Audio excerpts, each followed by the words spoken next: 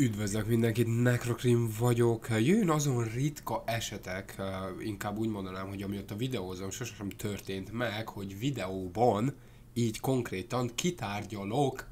egy magyar videót, amely fölkerült YouTube-ra, így, így, így, így mondhatnám. Mivel, hogy nem nagyon szoktam követni a magyar videósokat, várjunk csak egyáltalán nem szoktam követni senkit, aki magyar videós, nem beképzeltségből, nem valamiből, csak számomra a magyar YouTube um, nem azt a szórakoztatást nyújtja, amit én szeretek hallgatni, így, vagy legalábbis még nem találtam meg azt a, a valakit, akit szeretek hallgatni a magyar YouTube közönségben, viszont van egy-kettő, aki, akit így szemmel tartok, és az egyik közöttük Szírmai Gergely, és a tegnap előtt, vagy valamikor, a lényeg az, hogy az egyik kedves nézőm rám írt, hogy láttam a Szirmai Gergely interjúját, uh, amit az ATV csinált vele, vagy nem, valamelyik TV csinált vele, fölkerült YouTube-ra, és a WHO döntéséről beszéltek, amelyben konkrétan elme um, elme bajnok uh, nyilvánították a videójáték függőséget, és Szirmai Gergelynek a véleményét uh, kérték ki az interjúban, hogy ő hogyan látja és hogyan gondolkodik um, ezzel a témával kapcsolatban. Úgyhogy erről fogunk beszélni, mert kedves nézőm megkért, hogy, hogy, hogy lesz-e erről valami beszélgetős videó. Valamikor régebben egy hasonlatos videót csináltam erről, úgyhogy most kapaszkodjatok meg, mert uh, elemére fogjuk lebontani egy kicsit a dolgokat, hogy mi az, hogy függőség, létezik-e videójáték függőség, lehet-e ezt kezelni, lehet-e irányítani, ha egyáltalán van ilyen, milyen hatással van ránk, mert felmerült ebben a, a,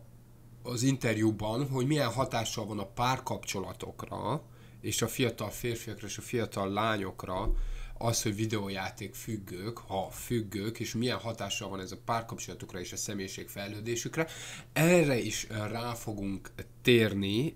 egy kicsit, és az oldalt úgy közelítjük meg, hogy egy kicsit um, pszichológiai, pszichológiai szempontból véve egy kicsit komolyabban, uh, ezen részét, hogy párkapcsolat, stb. És um, hát ja, úgy, úgy általánosan fogunk egy kicsit beszélgetni. Lesz az egészben személyes tapasztalat is, tehát megosztom veletek a történetemet, hogy én hogy álltam hozzá a,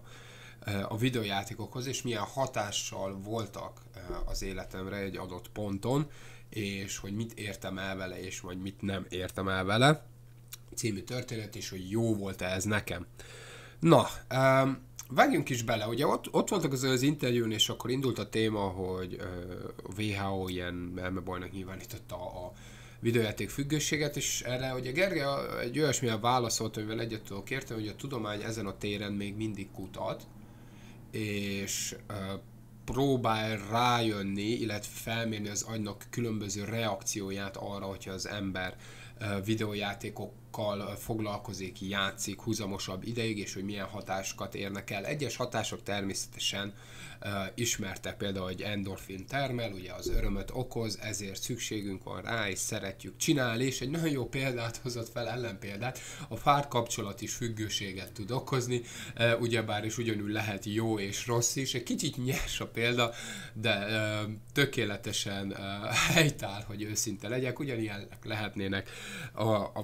videójátékok is, de hadd osszom meg akkor um, a saját történetemet ebből a szempontból, és el kell, hogy mondjam, hogy egészen gyerek, kiskorom óta része volt az életemnek valamilyen szinten a videójáték. Láttam fejlődni ezt az ipart, és az első konzolok közül volt szerencsém, hogy, hogy, hogy meglegyen. Tehát ott volt egy három évesen, és volt egy kis joystickom, és azzal el tudtam szórakozni, hogy őszinte legyek, mivel az édesapám az nagyon um, szerette őket, és sok potenciát vélt felfedezni bennük, uh, és, és akadt egy-egy a háznál mindig, de viszont hála az Istennek, a szüleim azért olyanok voltak, hogy nem engedték, hogy 24 hetet talán ott legyek előtte és menjünk előre egy kicsit az időben, nem jövök egy gazdag családból, ezért ezt nem engedhettük meg mindig, és nem mindig volt. Szóval nagyon-nagyon hosszú ideig nem volt semmilyen számítógépes kütyű a személyes életembe, ez pedig arra készített, hogy inkább az időmet kint, emberek között és társaságban töltsem el, ami felettébb hasznos dolog volt, hogy őszinte legyek. Um, aztán nagyjából 16 lehettem, amikor egy ilyen nyári munkával összegyűjtöttem annyi pénzt, azt hiszem 16 volt, nem emlékszem pontosan,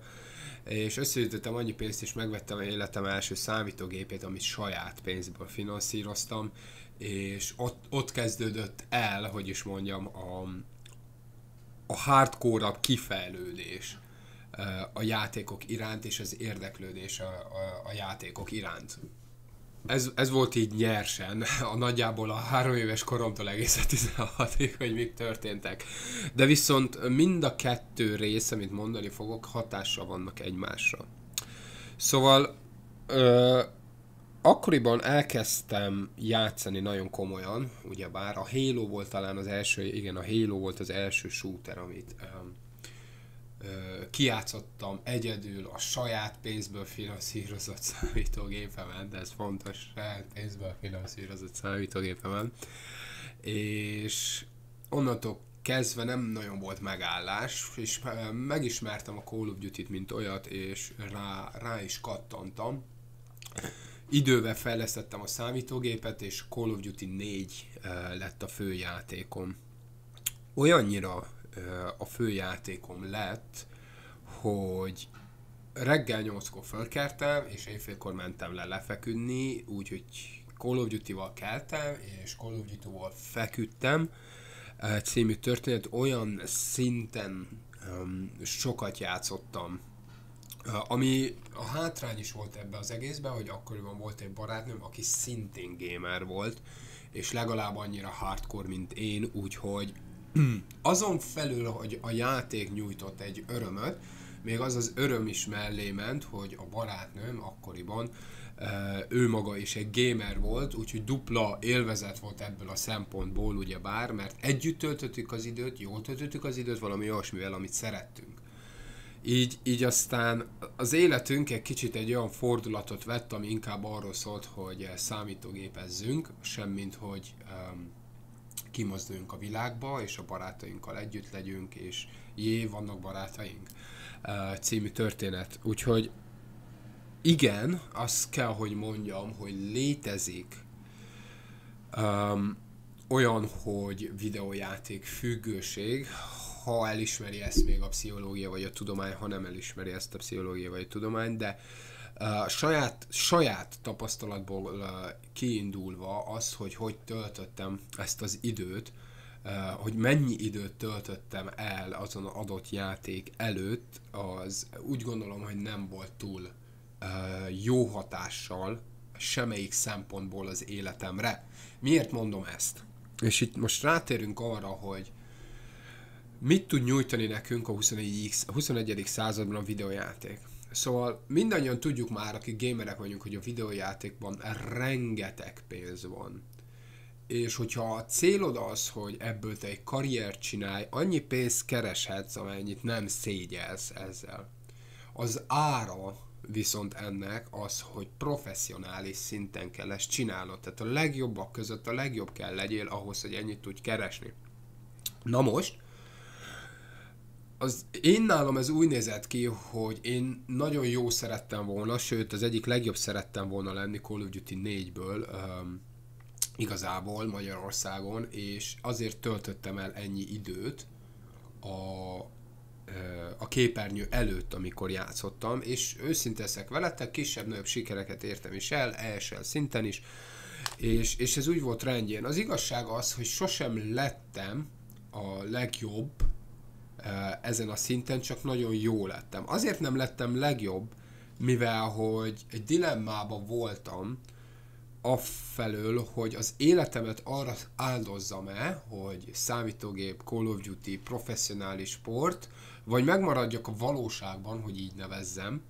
hogy megmaradjak a valóságban és egy karriert építsek a való világban, legyek egy mérnök, orvos, anyám, kínjas, tudjátok, szóval az ilyen apró dolgok.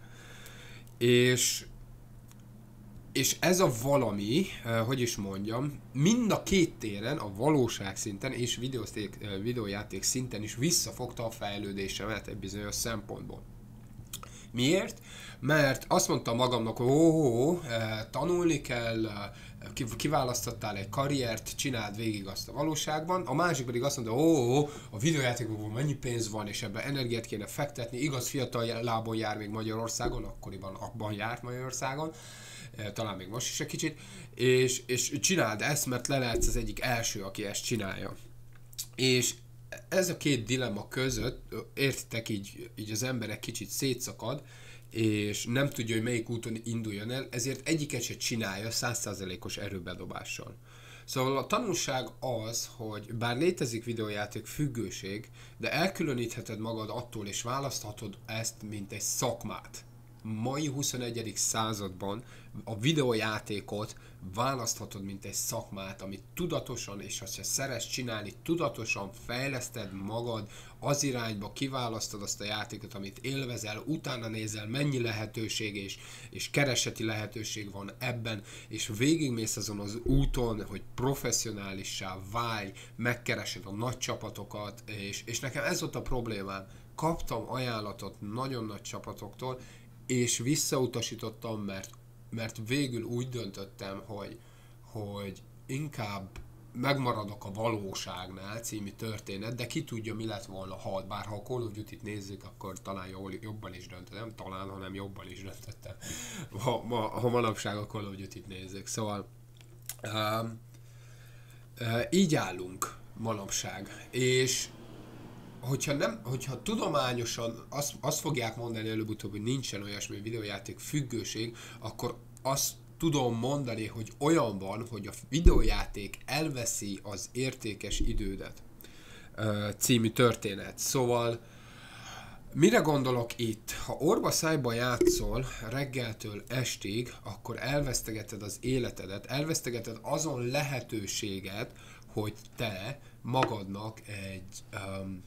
minőségi életet teremts. Tehát 40 évesen még mindig a szüleiddel fogsz élni. Erre gondolok. Nem mint a probléma lenne azzal, hogy a szüleiddel fogsz élni, a probléma ott van, hogyha még mindig őket használod fel arra, hogy az élet szükségleteidet fenntartsák. Szóval eh, ez, eh, ez lesz az egyetlen hátránya. A dolog lényege, amit én a személyes életemben alkalmazom, én azt mondom általában, hogy ennyi időm van, erre, mert a videójáték egy olyan dolog, amit én élvezek csinálni, érdekel maga az ipar, érdekelnek maga a hírek körülötte, és egy olyan szórakozás. Tehát nem feltétlenül megyek és iszom magam tajrészekbe egy diszkóban, hanem leülök és borfrévezek című történet, de mint ahogy a diszkóban is elmegyek és ottok lenni három órát, mert hogy bezár egy idő után, ugyanezt mondom magamnak uh, közben is, hogy elég. Tehát mit tudom én, ennyi időm van, és ennyi időt fogok játszani, mert hogy ezt is ezt kell ezután csinálnom. És sokszor beszéltem minden videójáték videó közben, hogy a személyes életedben uh, rendben kell legyél uh, ahhoz, hogy tiszta fejjel üljél le videójátékozni, és ne frusztrált legyél. Mert ha érzed, hogy valamit nem fejeztél be a személyes életedben, akkor az élmény, ami neked a szórakoztatás nyújtaná, átmegy egy frusztrációba, ami nem szórakoztatást fog nyújtani. Című történet. Úgyhogy egy nagyon fontos része ennek a dolognak, hogy én meghatároztam magamnak, hogy eh, ennyit szánok videójátékra, ennyit szánok uh, videózásra, és a többi az, az rámegy a, az életemre. Félreértés ne essék, sokan elmondhatják azt hiszem a barátaim közül is, akit ismerek, ugye, hogy ott, néha ott látnak, hogy én is gép előtt vagyok velük reggeltől estig. Megesik, olyankor én is jövök vele, kikérem az asszonyt, hogy figyelj, ezt a napot szeretném kérni magamnak, mert ezeket szeretném csinálni, és olyankor leülök, és, és bepótolom mondjuk egy heti lemaradásomat, konkrétan, mert hogy eh, egész héten nem foglalkoztam az adott témával, a videójátékkal, a videózással, de akkor így elkérek egy ilyen napot, és egy ilyen eh, reggeltől estig folyamatban legyártom az anyagokat, legyártom a videókat, és többi. A lényeg az egészben az az, hogy hogy egy adott időintervallum, amit nem szegsz meg,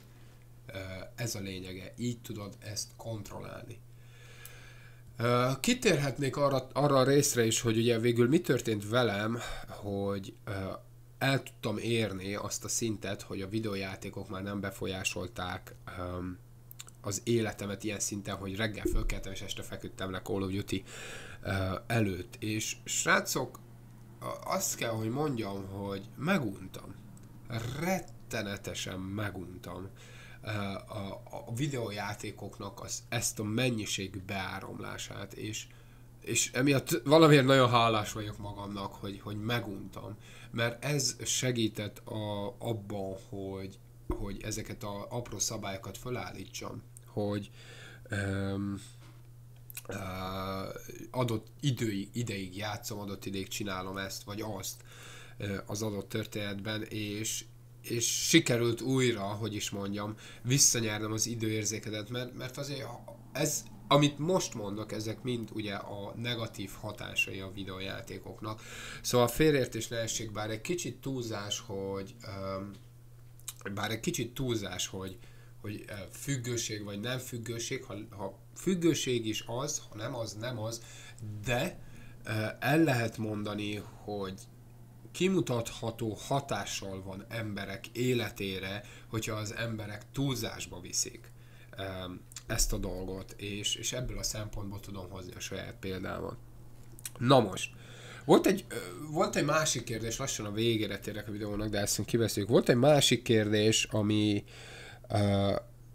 a személyiség fejlődését befolyásolja a fiatal férfiaknak és lányoknak azon a téren, hogy uh,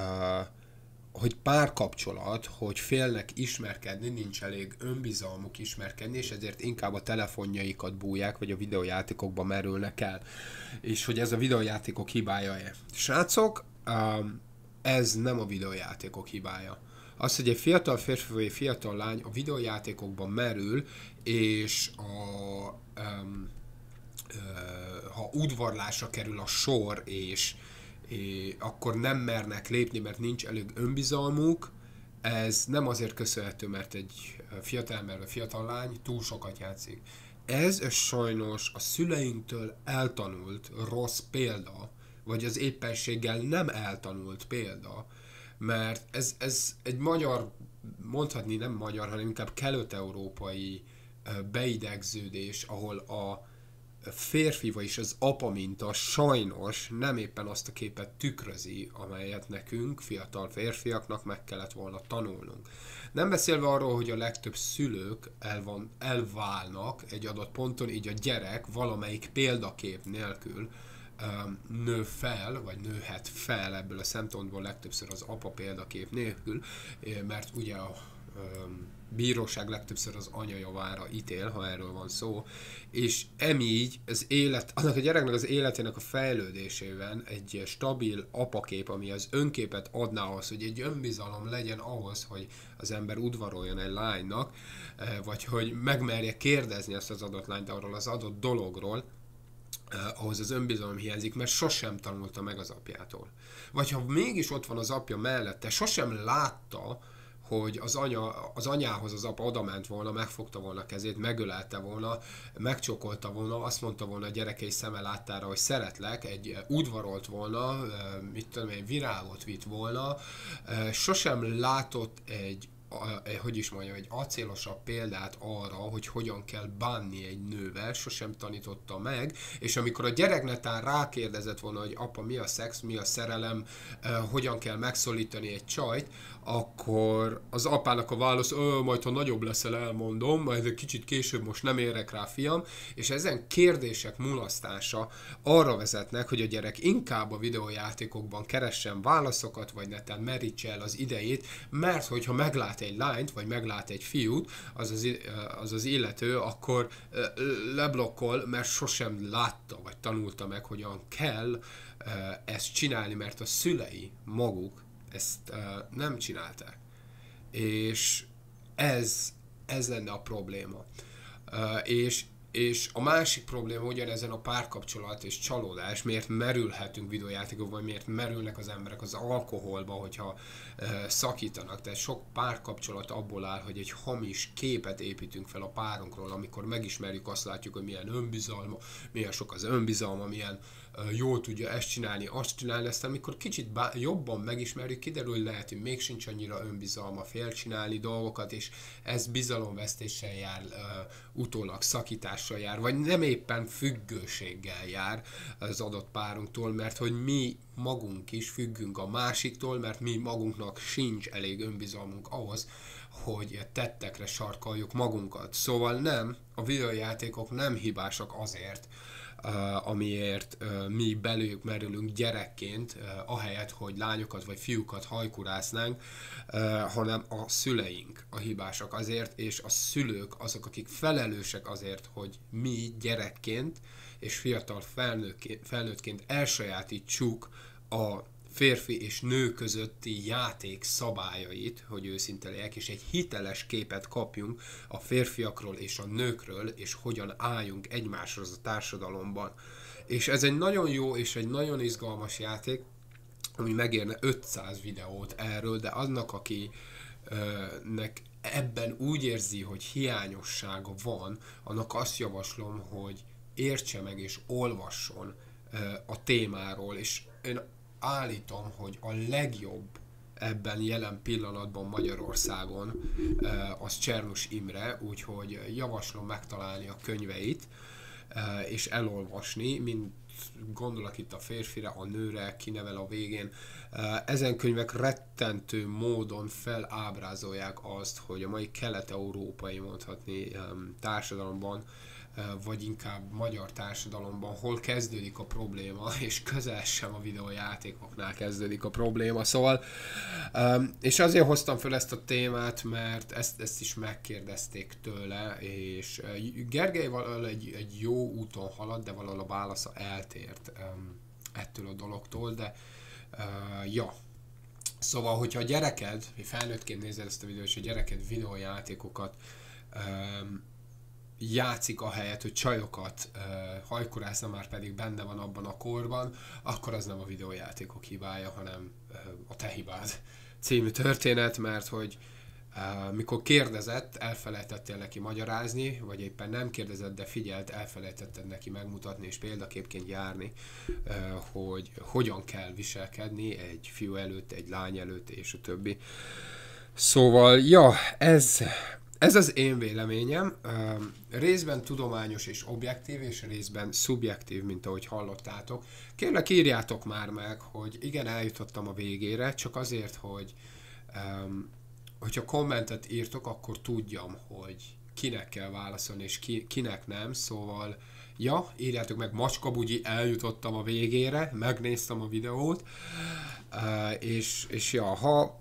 ilyesmivel kapcsolatban akartok meg beszélgetni, akkor várom a kérdéseket itt a videó alatt, vagy, vagy Facebookon nyugodtan um, föl lehet tenni. Uh, várom. A Discord szerverünk bárkinek elérhető, um, bárki csatlakozhat nyugodtan, és srácok, ha tetszett a videó, akkor dobj lájkot, iratkozz fel, ilyen apró, egyszerű dolgok tudjátok. Köszönöm a figyelmet, sziasztok!